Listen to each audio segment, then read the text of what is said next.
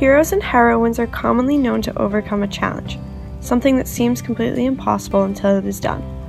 We look up to these individuals with the intent to be just like them, to be able to overcome challenges, to be kind, and to be the best person that we can be. Our hero or heroine is someone who goes out of their way for the greater good, someone who puts others before themselves. So I am a very anxious person, but um, uh, and that really affects how I look at each day. But usually I try and go into the day like expecting things to go well, and then just feeling prepared, and also like looking out to see if there's anything I can do for any other people, because that that makes me feel better. Evelyn Milburn is my heroine because she has proved that no matter what you go through personally, it shouldn't affect how you act socially.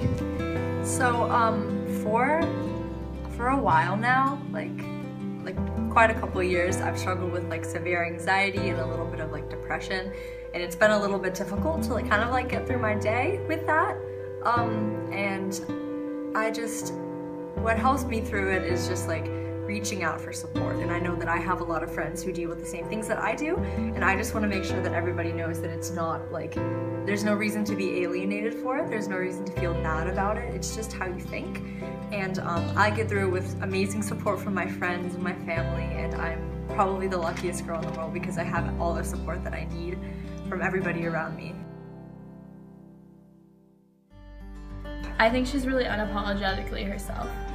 Evelyn always advocates for equality, which I love. She is a great leader and unfailingly kind all of the time. Oh, she is the most amazing listener that I have ever met. She always goes out of her way to help others and she puts others before herself all the time. Evelyn Milburn is my hero because she's shown me how to become a better person. She's unconditionally kind and she accepts everybody for who they are, all while being super involved with the school and with her family.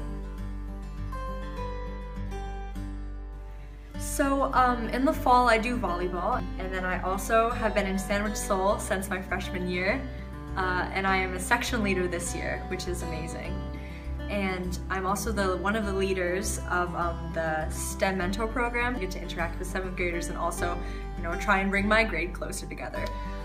And I also started a club called Diversity Club, and it's a club where um, you know kids can come in and talk about different issues concerning diversity and see if there's anything we can do to help around the school um, with any issues concerning diversity.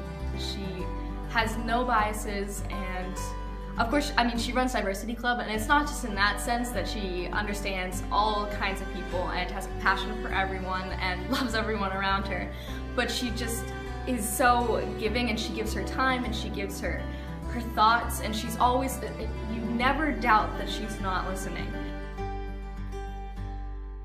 It's.